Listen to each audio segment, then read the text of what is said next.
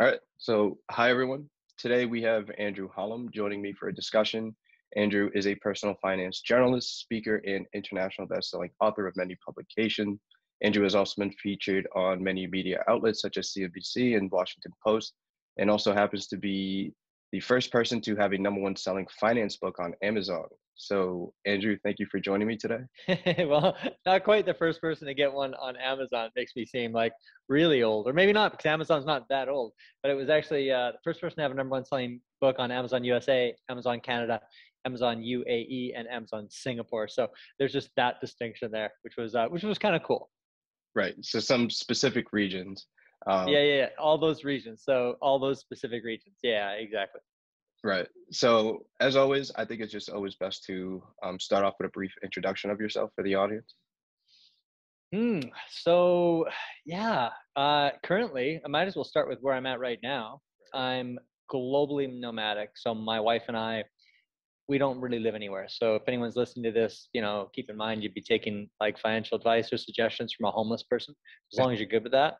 So, uh, we've spent a lot of time living in a van, and but a cool van uh, a really cool van. We spent 17 months uh, a couple of years ago living in a, a 21 foot long Winnebago Travato as we it's kind of like a Mercedes Sprinter as we traveled through a little bit through the western US but then most of our time we spent exploring Mexico and Central America so you know I went into Guatemala Belize El Salvador Honduras it was a, a failed attempt to get to Argentina and the uh, when we got to the border of Nicaragua and El Salvador, they ended up having a civil war going on. Just you know, minor minor skirmish, which made things reasonably unsafe for a couple of uh, yahoos in a camper van to to try and go across the country.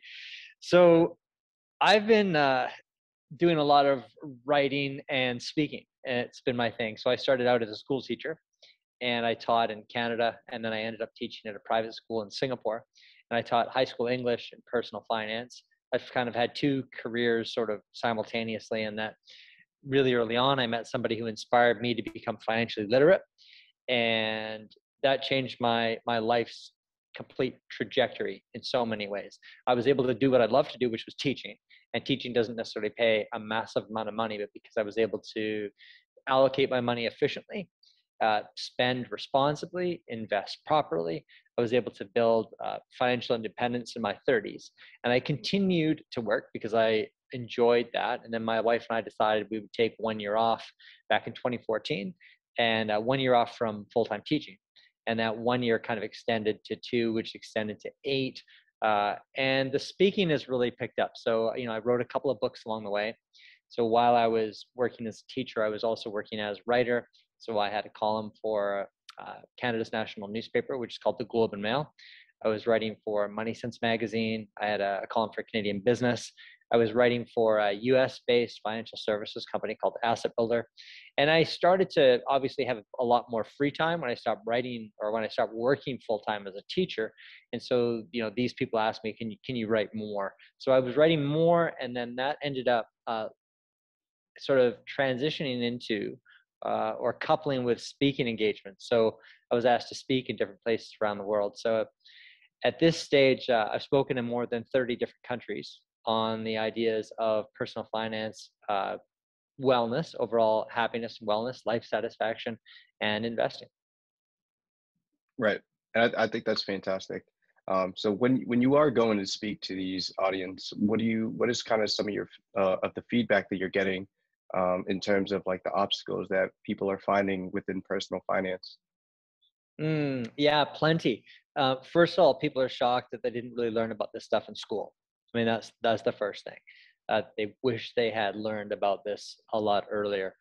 Uh, sometimes you get financial service operators that are educating people, so financial advisors that are educating people but in many cases these people are just salespeople selling to ha- trying to sell high commission based products with high fees so we're talking about mostly the really bad ones really and they're the most common is uh, investment products that are linked with insurance companies so basically insurance linked investment schemes like variable annuities that you have in the us they're really really common but the fees on them are so high that the investor has a really hard time uh, actually making decent money on them. So in the United States, for example, a variable annuity might cost uh, have hidden fees of about three percent a year.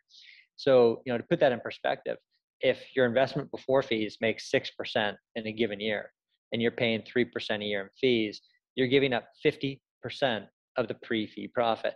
If you make uh, if your investment makes three percent before fees in a given year, um, and you're paying three percent in fees, you know you're giving 100% of your pre-fee profit to the financial services industry so this can be a, a really big challenge to try to show people and to teach people that these are products that need to be uh, at all costs avoided but the unfortunate part is how prolifically they're sold so you even have like you know teacher pension plans uh, i would call them pension plans but i'm talking like uh, like uh, 403bs for school teachers in the US that don't they no longer have defined benefit pensions, but many of them have 403b options. And really conveniently, somebody comes through the school district and you know ends up having just about everybody investing in a variable annuity like product, which is absolutely horrific. There's some really cool groups. So like 403b Wise is a really cool group that helps people figure out like what are the actual costs on the platform and how can we uh, end up speaking to the powers that be in your given sort of school district jurisdiction. I'm just talking about school teachers here, but it's a, it's a great example that would apply to anybody. Uh, how can we end up getting low cost providers that will service um, these good, hardworking people and not rip them off? Yeah, right. Absolutely. Um, so one thing I, I, I wanted to, you know, you mentioned allocating. Um, so I wanted to touch up on that. So in the instance where you know let's say you're saving and budgeting and doing all these um, helpful strategies to obtain uh, more money at the end of the month what would you say are some imperative channels to allocate your resource to um, you know within a young age um, for example like a 401k index funds um, roth iras what are, what are your take on that? I think the first thing is to pay off high interest debt. And so a lot of people don't necessarily think about that but if you if you have a car for example and you're paying interest on that car and let's say the interest is more than 5% a year in today's low interest climate i would call that high interest debt likewise a credit card of course which could be as high as 20% a year that's what i'll call high interest debt and in many cases student loans will charge you more than 5% per year actually in most cases so I call that high interest debt. And, and paying that off is such a good thing. I mean, even before investing. So it might sound really conservative to say that, but if you have high interest debt, and I would say anything that's charging you 5% a year or more. So I'm not including a mortgage here because mortgage interest rates are, they tend to be much lower.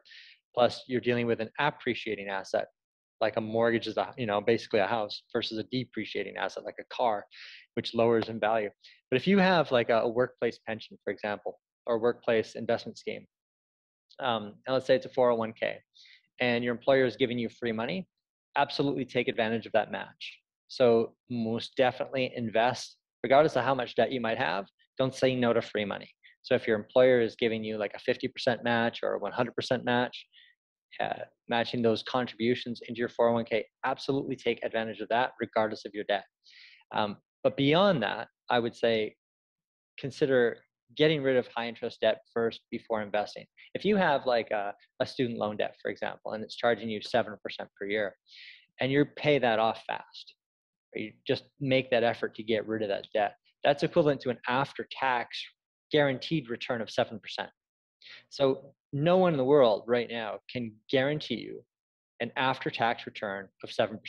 The stock market certainly can't after taxes as a guarantee, right? There's no bond that could do it. There's no savings account that can do it. Um, there's no money market fund that could do it. So this is why, you know, paying off high interest debt actually makes a lot of sense.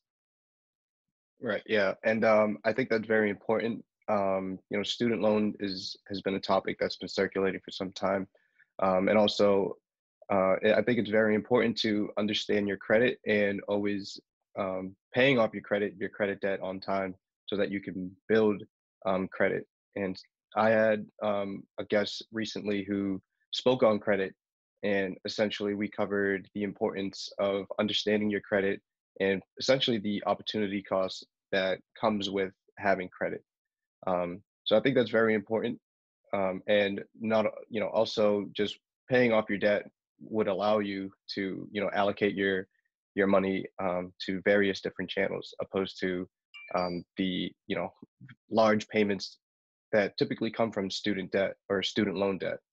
Um, so for someone who's never, for a young adult who's never invested in the stock market, um, how do you believe they should go about doing so for the first time? Well, diversification is really important because it's a matter of putting your eggs in a variety of different baskets instead of putting all your eggs in a single basket. So many people will think, oh, well, they need to be able to buy individual stocks and follow the stock market, and they don't. So uh, the research on this is is quite interesting in that people that buy like a low cost index fund or something like a target retirement fund, for example, which is a combination of stock market indexes that are fully diversified, giving someone exposure to the US market, the international market, and depending on their risk profile, uh, a bond allocation. And these are great. I mean, Vanguard's life strategy funds are very similar in this respect as well, where you could literally buy a single product. And with that single product, you could have access to a, a global representation of stocks and bonds, again, depending on the risk tolerance that you choose. If you are a, a low risk risk investor, you might want something that has a slightly higher bond allocation. It will be less volatile when markets jump up and down, but the long-term returns, we're talking sort of 15 years plus, tend to be lower if you have a higher bond allocation. So you can fit an allocation that's dependent on what your personal tolerance is for risk. But if you are purchasing one of these all-in-one index funds, you will end up having a really, really low cost investment platform. We're talking about something that will cost you as little as you know, 0.1% per year. And we were talking earlier about those variable annuities that have total costs of about 3% a year. There's a massive difference. I mean, we're really talking about like completely different things here. So yeah, I would suggest, you know, opening up an IRA, um, or making sure that you invest in a 401k, especially if it's matching. So make that your your uh, your main priority. Looking for a target retirement fund or a life strategy fund, which is an entire basket of indexes wrapped up into a single product, and then you don't have to follow the stock market at all.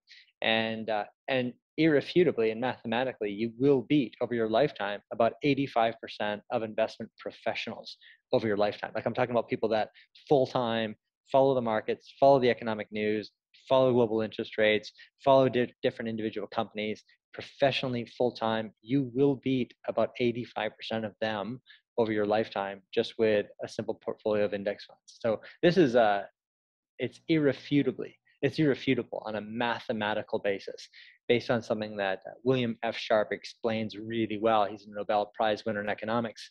And he explains this really well in a, in a Stanford-based paper called The Arithmetic of Active Management. So kind of boring in terms of like uh, the actual premise in itself, but uh, what's not boring is the fact that you'll beat the vast majority of professional investors over your lifetime. Right, and, and I think that's that's a very interesting statistic, um, and it's I, I, think that it's important to understand you know ways to allocate your resources. Uh, the stock market, there are tons of ways to do so, whether it's um, you know trading for long term or kind of day trading, but you know every every uh, investment strategy has their own risk. So I think it's definitely important to understand both ends um, of the spectrum so that you can make the most appropriate decision for yourself. Um, so you also, so you happen to, I, I, believe you were able to retire at the age of 30. Is that correct? Well, you know, I never really fully retired and, and I don't intend to, but yeah, I was financially independent in my 30s and I never really thought of it as, uh, like a goal because I was enjoying what I was doing. I know when I was young, like when I was 19, when I first started to invest, I remember thinking about not working. I remember thinking about retiring and, and chasing that idea. And that was one of the reasons why I started to invest and, and invest as much as I did of my paycheck. but over time, I never really thought so much about it. Like I remember, you know, when I, I wrote the book Millionaire Teacher and people would interview me and they asked me, when did your account first exceed a million dollars? And, uh, and I, I couldn't really tell them because I didn't really know or didn't really care. And that sounds kind of strange, but, um, but I truly believe the less you look at your investment account overall, the more money you're going to make because behaviorally you're going to not so much be influenced by the gyrations the emotional gyrations of the stock market itself.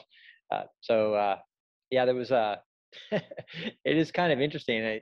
The, the, the less you tinker with your portfolio the less you move things around i think the less you're watching the uh, your investment performances, the better off you're going to be. Most people would be better off like uh, Rip Van Winkle. You know that guy who goes to sleep for 30 years and wakes up, and uh, basically, if that were the deal for most people, they would end up with far more money than they uh, than they actually will have because most people will speculate and and uh, let fear and greed change or alter their investment decisions.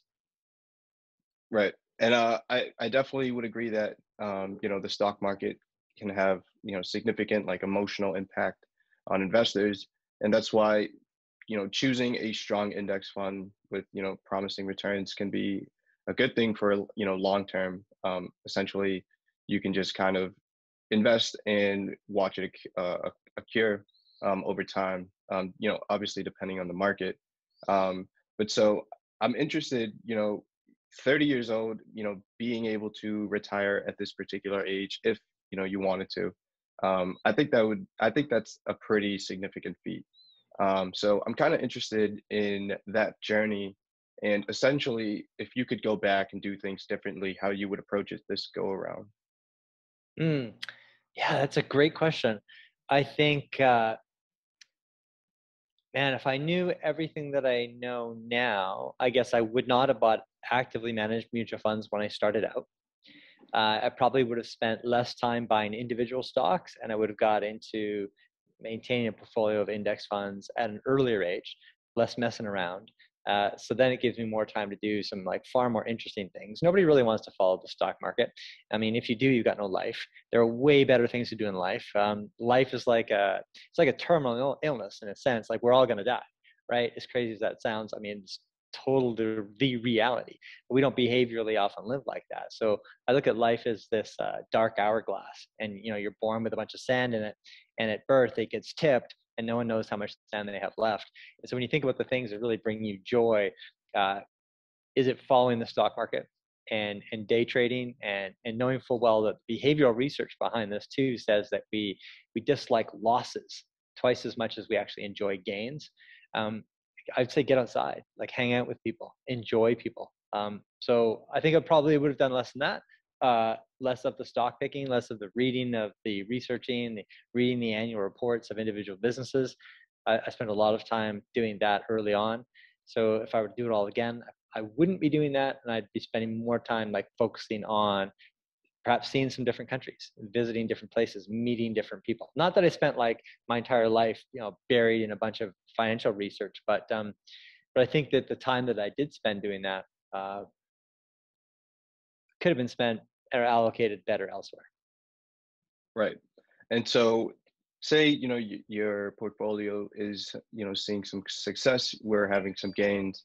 Um, what do you think is is it best to just reallocate and just like reinvest these back into the index funds or how should we uh, and I understand that um, if you sell in a certain period of time that it's taxed differently.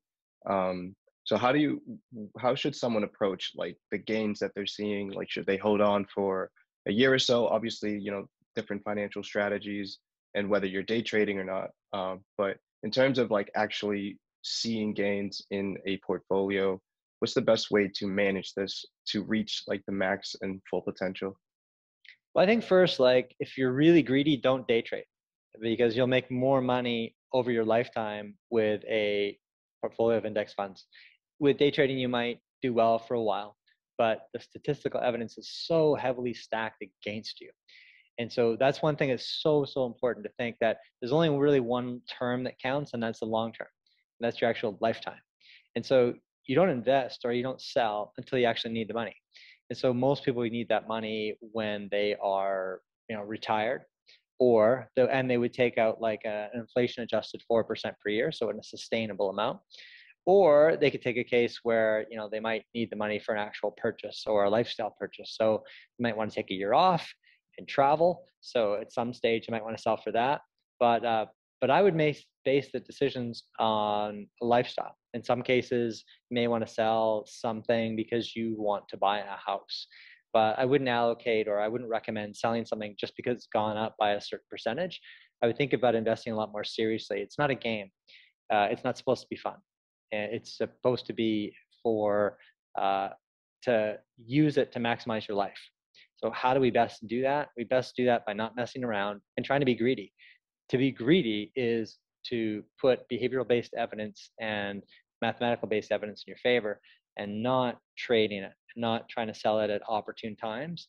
Stay in the market, just keep adding money to your portfolio of index funds um, for a lifetime of working and then withdraw an inflation adjusted 4% per year. And, and if you need the money for something, like my wife and I needed some money to buy a condominium. So we sold a portion of our index funds to buy a condominium. Uh, we wanted to buy uh, an, an RV for my mom and dad. And so we needed some money. So we sold a portion of our investment portfolio and we were able to buy them a, a, a pretty cool RV. So yeah, that's, that's, that's generally my strategy. Right. And I think that is, um, you know, it is important to kind of have a understanding of your financial situation when investing. Um, I think one of the biggest obstacles is is people want to see like, you know, people want to become a millionaire overnight. So when they do invest in the stock market, you know, they're keeping their eyes glued to the market and just uh, this is when the you know the roller coaster of emotion comes about. And so when it dips down a little bit you might want to pull out or when it you know goes up you want to you, you know you want to get out because everyone just wants to make the quick gains. But if on in all reality yeah. if what we're looking for is um, financial freedom and independence then you know the long-term strategy is is um, where we want to be um, considering um, so i definitely do think that's important.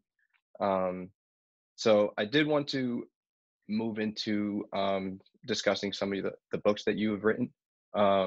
So for the first one, uh, I wanted to discuss the Millionaire Teacher, um, and I'm particularly interested in this book because um, I believe this has um, this revolves around um, you know becoming a millionaire based on like a working salary, um, and I find this interesting because prior to me venturing off and doing my business full time, I've worked as a life insurance agent and a tax. Um, I worked at a tax firm um, for a couple months, so I understand the obstacles in you know being a dual entrepreneur. You know, working and um, working on you know being employed and working on your side business or your business. Um, so I kind of wanted to get your perspective on that. On like having a side business Right. So essentially, kind of like being employed and you utilizing your salary in order to further, you know, your business venture. Hmm. Yeah. Honestly, I uh, I probably wouldn't have a lot to add to that. Um, probably because I'm lazy, and so for me, my my whole uh, prime directive early on for investing was to work as little as possible. So uh, so you'd probably be able to answer that question more than I would in terms of using your salary to to augment some kind of wealth with a business of venture. All I did was basically I was a regular Joe. I had a salary, and I just uh, allocated part of that salary to my investment portfolio over time. And I didn't need to you know invest a heck of a lot because I started from a really young age. And so I was able to let money compound over time. And I mean, I say I wasn't able to invest a heck of a lot, it was relative to my income. I guess it was a relatively large percentage of, of my income uh, because it wasn't particularly high. So somebody who's like a doctor or lawyer who looks at how much money I was investing on a regular basis might say, well, that's not, that's not a lot. And it's not, but because I started so young, the money was able to just compound like a snowball. And that's what ended up bringing me early financial independence. But again, I mean, for me, um, yeah, it's yeah. Some of your listeners might be disappointed to know that for me, my prime directive isn't isn't to work very hard.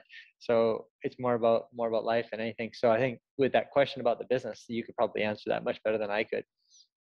Right, and, and it's just I, I love you know getting this type of perspective because um, I feel like when we first when people first venture out and you know begin their business, uh, a lot of times or in you know some scenarios um, the individual won't have the working capital to cover all the overhead costs.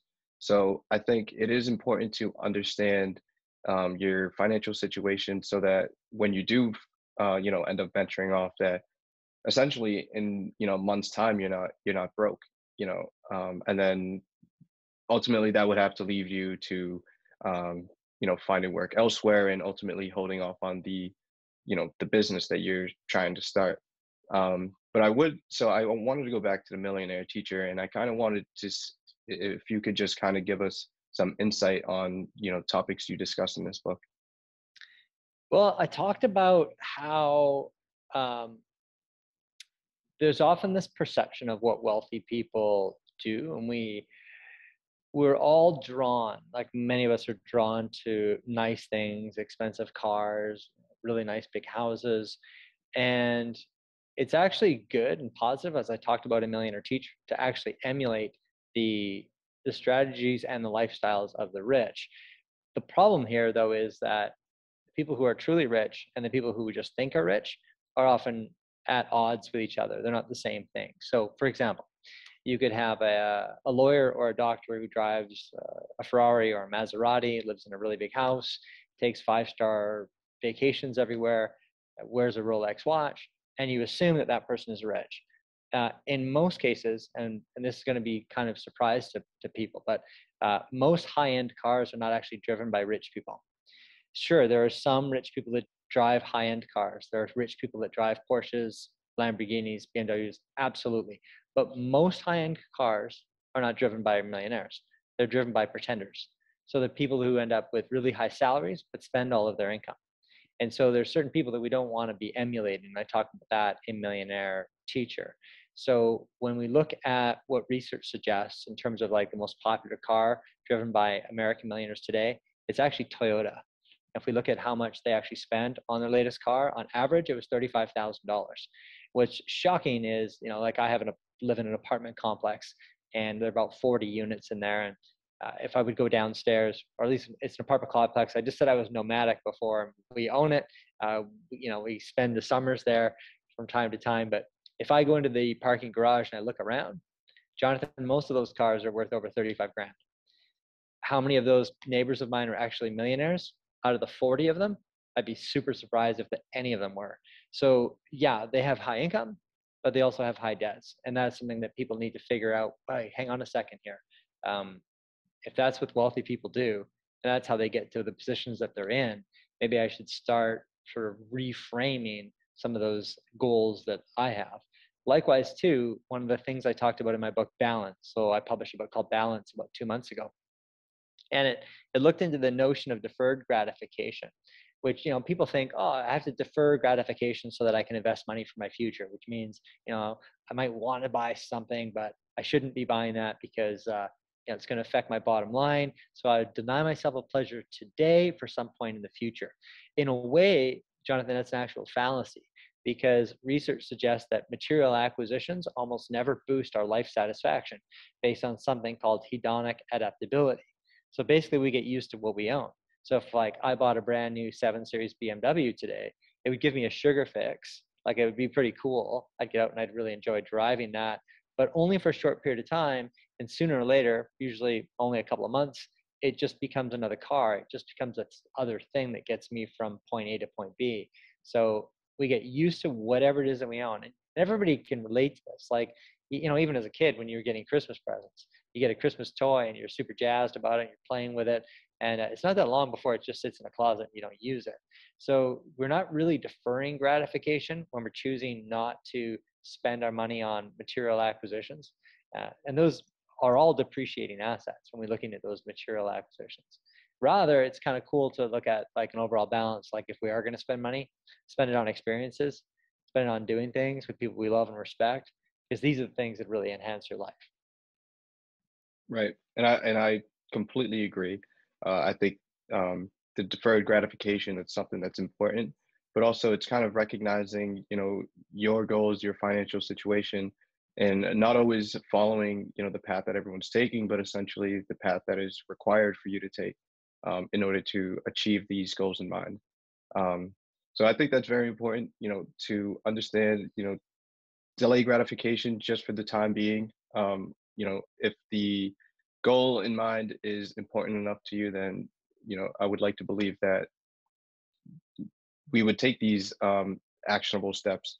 Um, and I think that the biggest thing is just sticking to these steps, um, to these methods. You know, making sure that it's not just like a one one two week thing, but more so like something that mm-hmm. becomes mm-hmm. you know an everyday thing um, for months and years at a time.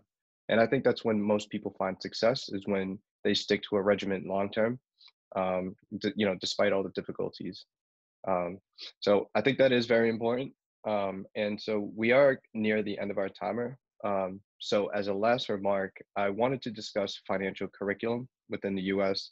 and essentially kind of get your perspective on our efforts currently and whether where we as a society and a community um, are on the right track to promoting financial education in all our schools. Yeah, it's such a tough question to actually answer without like going into the schools and seeing like I do know that there's a higher number of people that are embracing financial education within school districts, which is great. That's always going to be a good thing. But to what extent are they doing it? So, you know, is it just a, you know, a short little one week thing or a two week thing, or is it like a a proper course?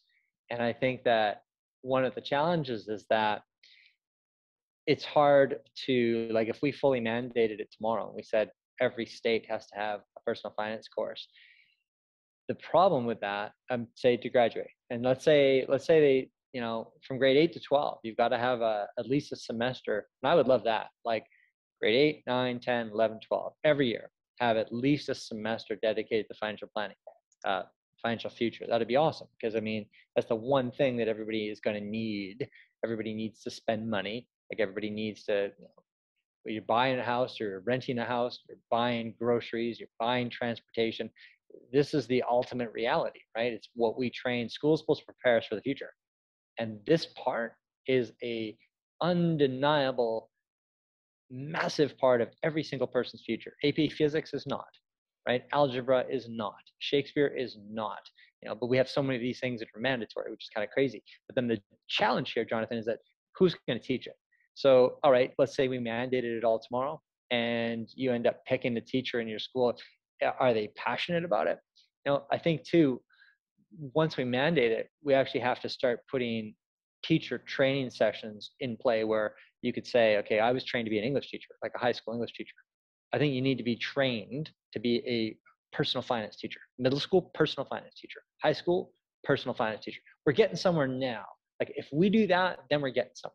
But just to have some willy-nilly thing where somebody who's, you know, they teach geography and they don't even really want to teach personal finance, it might not be the passion, but they're told, wow, we're mandated. Now we've got to do it. Um, you're going to get people doing all kinds of goofy things that aren't that effective. So yeah, we need to the progress is being made, but progress continues to uh, should continue to be to be pushed for something uh, I think much more serious and comprehensive.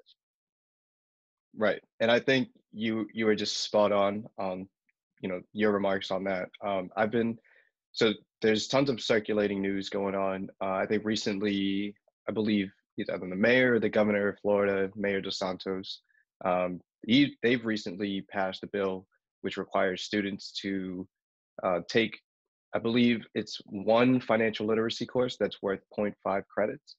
Um, so this is something that was recent. I, I, I believe this bill was signed in uh, a couple weeks ago.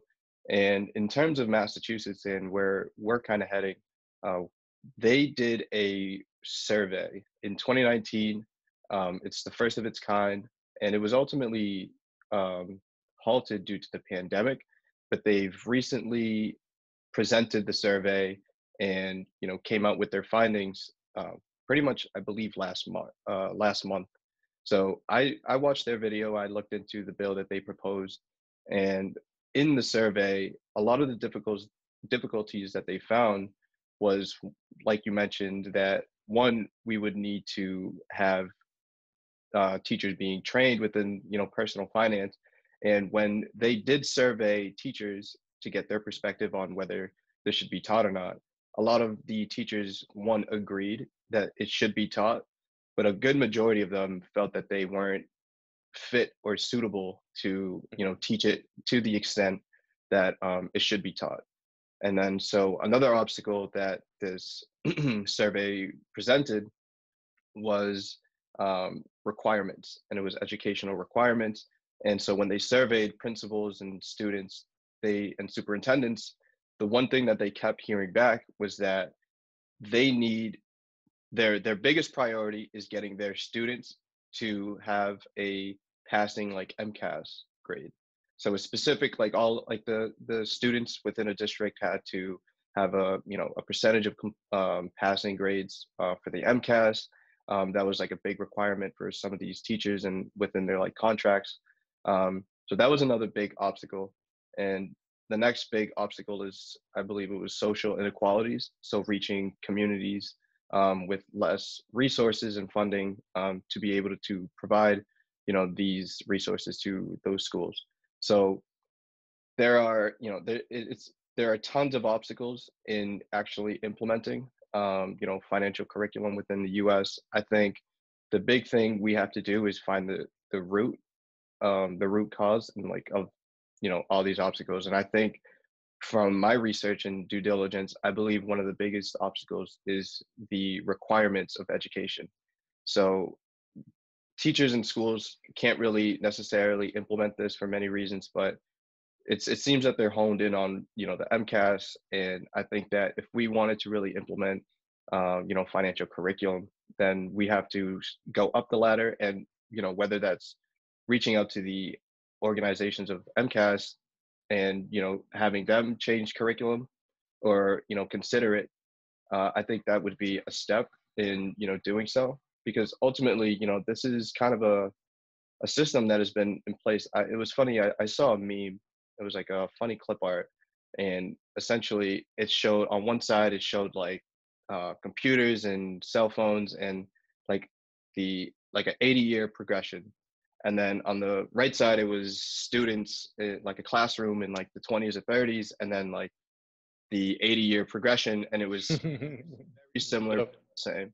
So i think it's kind of, i think it is outdated uh some sort of a legacy model. You know like you said we don't really all need to be learning about uh shakespeare at a certain particular moment. Um i think going up to you know starting at the higher levels and then branching down to you know communities and um, you know, uh, states and districts, seeing how we can implement financial curriculum in that way um, is important. But in all, I think it's important to just amplify the the awareness of financial literacy, so that lawmakers and you know state representatives are aware of this, you know, growing situation in the U.S.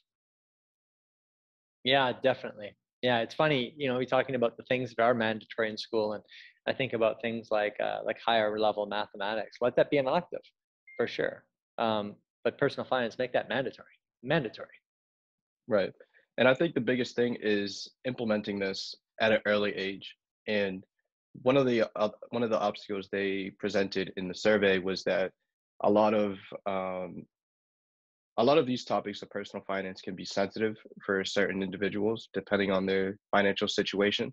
So it's finding like a middle ground of how to introduce money as a concept of value um, and tool opposed to you know kind of introducing money and having you know having it neglect others uh, just because uh, of their financial situation. You know you can't really get everyone engaged but it's definitely an obstacle and it's something that I, like you mentioned i believe that you know teachers or those who are going to be uh, implementing this financial curriculum should be you know trained uh, to do so. Yeah yeah for sure. Right. So yeah i definitely think we're in you, you know we're heading in the right direction but there's definitely a lot more that could be done. So um so we are near the end of our timer. Um so do you have just any last remarks? Anything you'd like to say? No i think keep doing what you're doing you know talk to interesting people build an audience get people thinking about this sort of thing uh, i think it's really powerful really powerful and helpful. So yeah thank you. Right yeah absolutely. Um, you know the big goal is 50 out of 50 states to have implement some sort of financial curriculum um, within the us we're not quite there but i believe that uh, we are heading in the right direction. Massachusetts there we're currently we have a couple initiatives out right now um, one being the baby bonds task force which is a task force created by the treasury here in mass. And essentially there's only i believe three other states that implement type of resource. And essentially the goal here is to create a bond a baby bond. So for every newborn child in massachusetts they will be born with a bond um, of you know however much amount that they won't be able to utilize up until they're 18 so um, i think that's a i think that's a great initiative. Um, i believe new jersey is among the other state that have this currently. Um, so yeah there's definitely a lot of initiatives happening and um, you know i think it's us doing you know our thing and amplifying you know financial literacy and just a combined effort would ultimately you know get us there yeah absolutely right so thank you yeah so awesome um so thank you again i, I think i found this uh incredibly insightful and you know i hope you're you're currently in panama panama city panama city the country of panama yeah nice. so not florida but the country of panama for How, now yeah. how's the weather over there right now the weather's always awesome that's why we're here. yeah, awesome. So I hope you enjoy the rest of your day and your vacation, and um, I'd hope to uh, stay connected. Great. Thanks. Thanks, Jonathan. Take care. Thank you. You as well. Bye bye. All right. Awesome. So I'm gonna cut it right there. Um, but how do you think it went? Yeah, it's good. Good. Yeah. Um, I didn't want to dive into too much like with investing because you know for the disclaimer, you know, fi- not financial advice. But I think we, you know, covered some good topics. Um, more so like your perspective on a couple things. Yeah. Yeah, it's good. Cool. So I'm gonna have this edited. Um, it doesn't seem like there's gonna be much editing needed need to be done. Um, but essentially, I'd like to stay connected. Um, when I do go ahead and post, I'll pretty much just send you out, uh, send you an email. Are we connected on LinkedIn by any chance? I don't think so. I don't think so, but we could be. You'd be able to give it a quick check. Eh? Yeah. Um, the only reason I mention that is because when I do go ahead and post, I just like to, uh, you know, tag you in my post. I'm kind of very active on LinkedIn, so that's kind yeah, of great. My episodes, and then you know YouTube.